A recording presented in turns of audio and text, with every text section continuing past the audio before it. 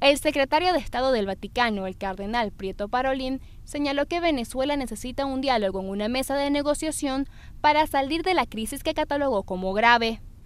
Parolin manifestó que la situación es muy difícil y preocupante, por lo que se necesita de buena voluntad de ambas partes para encontrar caminos de diálogo. El cardenal reconoció que existen muchas solicitudes para que la Santa Sede intervenga y se pueda facilitar el encuentro. Es por ello que el Papa Francisco envió una carta al presidente Nicolás Maduro y aunque su contenido es secreto se sabe que la santidad hace referencia al diálogo.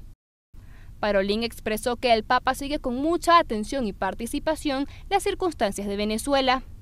El 27 de abril, los obispos venezolanos emitieron un comunicado en el cual solicitaron formalmente que se permita traer al país alimentos, medicinas y otros insumos necesarios provenientes de ayuda internacional. Desde nuestra plataforma multimedia, Luz Rodríguez, Notiminuto.